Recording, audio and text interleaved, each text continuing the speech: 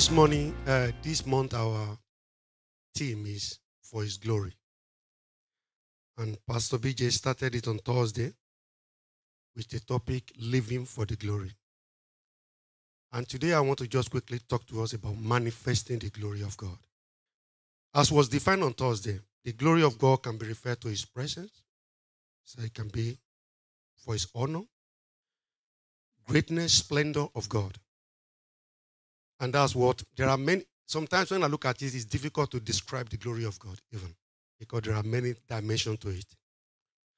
But one thing that's very important, which I want to talk to us about this morning, is that God has created every one of us, even His creation, totality, to manifest His glory.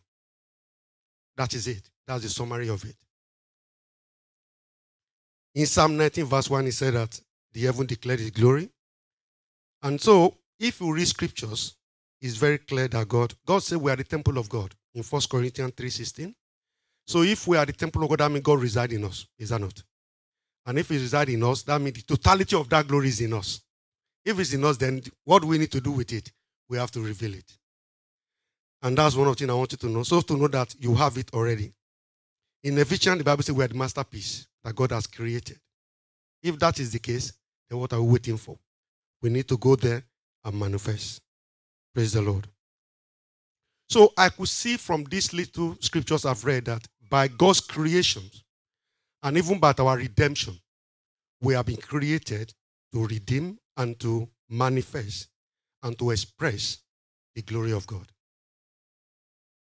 Because God understands that we cannot give what we don't have. And because of that, He gave us that. You know, in Hebrew, I think 1 3, the Bible said the, the Son expressed the glory of God. And if the Son is not living in us, that means we can do it without struggle. Is that not what it should be? So let's know that. And I come to one mystery, and the mystery is this the God sovereign works on earth, we only work with our responsibilities. Everything God wants to do on earth, will do it with our responsibilities. That means if we are responsible to what He wants us to do, the greatness of God on earth will be manifest and it will be clear to everyone. So if we are waiting, if we are seeing that there is no, if unbelievers are sitting there, they don't know God, they don't do this, that means you and me will have a responsibility. Something is wrong somewhere. Because God's, because we've said it before, God has given the earth to mankind. Is that not? When we call him forth into the process, he comes into the he manifests it. So we have a cause to do that. And I pray God will help us in Jesus' mighty name. You know, because of my time, I'm just trying to rush through some of these things. And we might be looking at it that from the place we read in First Peter, what Brother Peter was trying to tell us is that to manifest the glory of God, he said, because we are foreigner on this land. That means we are strangers here. And he said we should live our life in such a way that believer will see it. They will glorify God. So that means there's a pattern of things you have to do. There is a way you have to do something that will make people to see you and give glory to God. And also, there's a way people can see you and say that if the if the if the way the God you serve is manifesting through you, I won't serve God again. You know it's possible.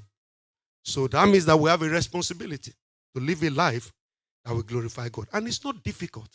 It's a simple living values of Christians. That's what God wants us to live. One, He wants us to live a godly life in an ungodly environment. How does that one possible? It's difficult, is it not? But God's what God wants us to do. Things are happening in a different way, but God wants us to still maintain our dignity, who we are in God. He wants us to produce fruit. Because the Bible says, My Father is glorified by this, that you bear fruit. When you bear the fruit of righteousness, God is glorified. Is that not? Praise the Lord. He talk about respecting authority. Breaking laws doesn't glorify God. You might say maybe the police hasn't seen me, maybe he hasn't arrested me, maybe you have not been arrested. It doesn't matter. As far as God is concerned, you are not doing the right thing. So you have to obey law. Do you know there was a time I went to uh, Asda and I, I picked a trolley. Not from the where they kept it, outside. As I was coming, I saw it by my car and I used it. So when I finished loading, the first thing that came to my mind is that to leave it the way I met it. So I wanted to leave it by that car park and just drove. I started my car. Something came back is that what will if somebody who is a member of your church? I went back and I have to go and drop that trolley where it should be. I was initially justified that look, I met it here, so I didn't do anything wrong. But I did. It's not. It's not about others, it's about you. Praise the Lord. He wants us to love people. Thank God that we did about deeper love the last, last month. Loving people is about expressing the glory of God. Let us know that. You have to trust God.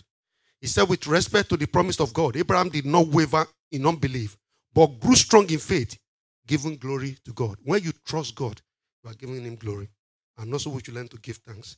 These are few things that you can, it's the basic things that we should do. When we do them, we give glory to God. You know, one of the things I found out is that many of us, many Christians, we like to express the physical manifestation of God than to actually dwell in His glory. I will explain. You know, many preachers, they feel great when they stretch for their hand, receive it in Jesus' name, and everybody receive it. Is that not? Everybody's great. Everybody's pastor is cool. You, the uh, listeners, who are cool because you receive your blessing. But the glory of God is more than that. It's more than that. Receive that power. Receive that glory. Power, that power is one is part of it, of the glory of God. And that is why you will see people that will minister, they can still go to hell. But people will be blessed. Because the power of God will still flow. Let me give an example to us for us to understand. Moses was praying to God in Exodus chapter 33, verse 18. He said, God, I want to see your glory. So if I'm if I'm there, we ask Moses. You want to see glory. You want to see let your presence in different in, in different uh, verses of the scripture. Some people say, Let your present glory be with me. Some say, Your indwelling glory to be with me. I will have asked Moses, When you saw the burning bush, what did you see? Is it not glory of God? When you were destroying the, the, the, the magician of Egyptians, what was happening? Is it not the manifestation of the God? When you stretch your rod and you cross the Red Sea, is that not something? But he still came to a point in his life. He said, I want to express your glory. What does that mean to you? That means that the glory of God is more than that power. He want to, he, because God told him that these people have been stubborn and I will not go with you. And he said, I need your presence to go with me. And God said, I will go with you, but he wasn't convinced enough. He said, God, let me see your glory. That means want God to dwell with him permanently. And now we are all here, we have the presence of God with us. The Bible says we are the carrier of the Holy Spirit and we are still not know what to do with it. Praise the Lord. So it's possible to have power and not experiencing the glory. And that is not right. Let me also give us an example. If you look up Numbers chapter 20, when God told Abraham, when God told Moses and Aaron, He said, You go there, carry your rod, and speak to the rock. Is that not? When Moses got there, what did Moses do? Moses did that. You and if you look at the next verse, the Bible says, I'm angry. God said, I'm angry because you did not honor me in the presence of these people. What is honor? That's the glory of God. He said, That means you did not glorify me in the presence of these people. But despite God said that, the water came out. Do you know that? He did not hold back the water. So the miracle can still happen. When you yourself you are missing the you are missing the ministry. It's possible you are blessing others and you are not blessed. So that's why the glory is more than the power. Praise the Lord. So, but many of us we, we dwell in that place of power without manifesting the full glory of God. And that full glory is very, very important. And when you and God said He has given it to you. So when you know you have it, you can manifest it. Praise the Lord. Let's look at one of our guys, one of our brother in the scripture, who actually walk through the simplicity of heart and give God the glory and manifest the glory of God. That's Brother Daniel. Brother Daniel is a man that was living in a foreign land. Praise the Lord. And in verse, if you look at Daniel chapter 6, from verse 3 to 5, but I'm not going to read, I'm just just paraphrase it. In verse 3, the Bible says Darius found Daniel more responsible just in that kind of way. And Darius planned to promote him. My brethren, one of the things I'm saying to you is that every little opportunity we have, we can manifest the glory of God. Daniel was, the Darius wanted to promote Daniel, not because Daniel is a child of God. Hello? He did not want to promote him, not because he's a man that devoted to God. No. Daniel, Darius doesn't care. The same way, the place we are walking today, nobody cares whether you are a Christian or not a Christian. All that matters is that your productivity matters a lot. Do we all agree? And Israel wanted to promote him. He wanted to promote him because he was good. And because he wanted to promote him, the old people, the other members of his team, they decided that this man does not want to be promoted. What are they looking for? The Bible said they are looking for a place. They are looking for whether he has corrupted. They could not find. They were looking whether he was negligent. They could not find. That is in verse 4 to 5. Then they said the only way we can catch this man is because of through his God. Many of us are praying for opportunity to have our place of work as our missionary field. But when we want to do it, and when we go office in the morning, the first thing we open, we open our Bible in our computer. You will be sacked. And God will be glorified. Yes, that's not what God sent us to do. Praise the Lord. You should go to work 8 a.m. if that's the time of your office. Sit and do the job you are employed to do. If you want that, you want to pray during your break time, carry your Bible, go and read. Carry your Bible to the toilet, go and read it and pray to God in those places. Many of us, we have been doing what we're not supposed to do in the place of work, and rather than creating friendship, we created enmity. So, what I'm saying is that Daniel was working very hard here, and the king loved his service. It was because his service pleased the Darius agenda that Darius wanted to promote it, was planning to promote him. So, anywhere we find ourselves, we can manifest the glory of God. What did, the, what did Peter says? Obey the authority. Do what is right at all times, so that people might see your light. They will glorify me.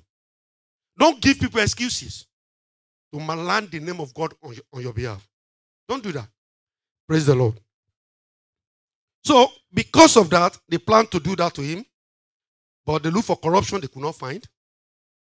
They look for whether it was negligence in his place of work, they could not find. What else can they do? Nothing. They now say, oh, okay, maybe this man served God. So let's use the place. Nobody should pray to God anymore. And the Bible says Daniel heard about the decree. He went to his house, opened his windows. If I'm Daniel, I will close my window. Praise the Lord. To make life easy, is it not? This God I'm praying for, God answer me. Is it not? But the Bible says he opened as his usual manner. He has been doing it. So why should I, if I have to go between my lunchtime, 11 to 12, to go and pray, and you ask me for a meeting, I'm entitled to my to my break. I can say I'm not available.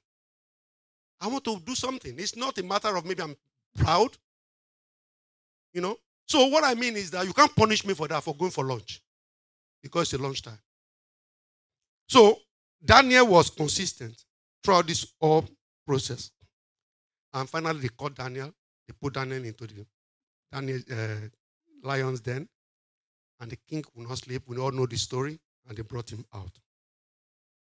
And the first thing that happened is that the king said, Everybody in this whole world must celebrate the king of Daniel. God of Daniel. Is that not? Which means that God, this man, throughout these normal protocols of life, through doing the normal things at the normal time, he was able to manifest the glory of God and the whole world could see it. So it's not by carrying guns. We don't need guns. We don't need argument. We don't need to be struggling. All we need to do is just to do the normal stuff we need to do on our daily basis. And the name of God will be glorified in our lives. Praise the Lord. So he worked very hard for King. King know that. He prayed faithfully to God. And God used him for his purpose. That's all. That's all we need to do. And it's not difficult for us to do. I pray that God will help us in Jesus' mighty name. The second person was David. Um, yeah, David. You know, when he went to meet the Goliath, the first thing he said at the beginning, even when they were saying, he was telling King, he said, King, oh, you kingly forever. When I faced with lions and bear, the God Almighty saw me through and I was able to conquer.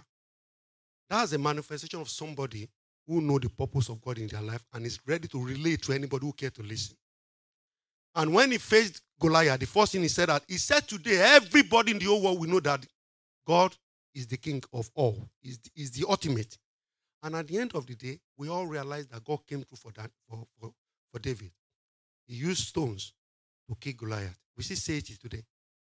He didn't use many magic, he didn't use anything difficult. What I want to tell me is that as soon what happened in Daniel and David is that anytime we decide to push forward with the glory of God, God has our back. Do we understand that? God has our back. Because Daniel would have been destroyed by the by the lion. But God was there. He said, No, this man is working for my glory. I will defend him. David tried the same thing. He said, This guy, this small boy is working for my glory. I will defend him. There is no time you will go out for God's glory. You will make up your mind that to be doing what is right in the name of the Lord, that God will not have your back. I'm very sure of that. I'm confident of that. Praise the Lord. We know in Ephesians chapter 6, God talked to us about the full armors of God. You know, in all, all these armors, the only one that doesn't have a cover is the back. Do we know that? There's nothing to cover your back. Which God means that I've given you all you need to fight the battles of life. All you need to make my name be glorified everywhere you go. Faithfulness, faith, prayer, everything you, you got it. Just go ahead for it. For the back, leave it for me. Do you know why? Because the glory of God will keep watch at your back. You might not believe me. Let's see Isaiah 58, verse 8. He said, Then your salvation will come like the down, and your wound like quickly heal. Your goodness will lead you forward, and the glory of the Lord will protect you from behind. So when you are moving forward with doing what is right, and people are even saying these things are not right enough, and you made up your mind to focus on that, God is preserving you at back. God got your back. So don't worry about the back. God is there preserving you and is leading you forward. So shall it be in Jesus' mighty name. So, as I'm want to round off, I put it in the slide. I say it's within your God-given ability to manifest His glory. So do not let anything stand on your way. You have everything you